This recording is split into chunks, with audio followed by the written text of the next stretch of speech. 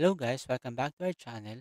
In this video, I'm going to show you how to integrate ClickUp with Salesforce.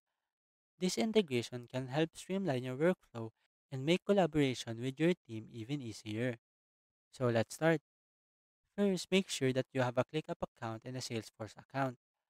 Once you have those, log into your ClickUp dashboard and click on your profile icon at the bottom left corner.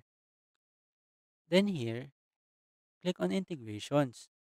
As you can see, Salesforce is not available in this integration center. So we will use Zapier to integrate ClickUp with Salesforce. Now go to zapier.com and log into your account. If you don't have one yet, you can create one for free. Once you're logged in, click on the Create Zap button at the top left corner of the screen. Here, first change the name of the Zap. For example, I will name it ClickUp with Salesforce. Next, search for ClickUp as your trigger app and select the trigger that you want to use. For example, you can choose New Task.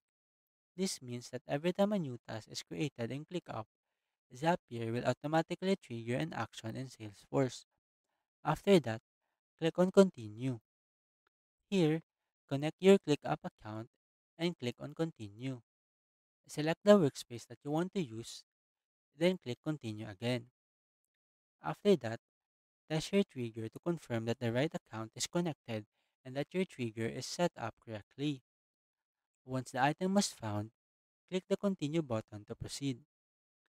Now let's move on to Salesforce. In the Action step, search for Salesforce and select the action that you want to use. For example, you can choose Add Contact to Campaign.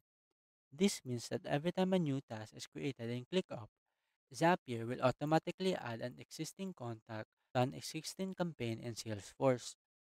After that, you'll need to connect your Salesforce account to Zapier as well.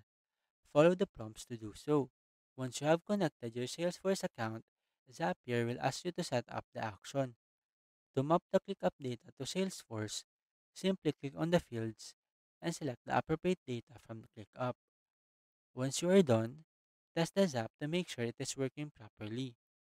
If it is, you can now publish the Zap and turn it on, then start automating your workflow. So that's it. If you wanted to know how to integrate ClickUp and Salesforce, that is the easiest way I know how. I hope you find this video helpful, and if you do, kindly give us a like and subscribe to our channel. Thank you very much and see you on the next video.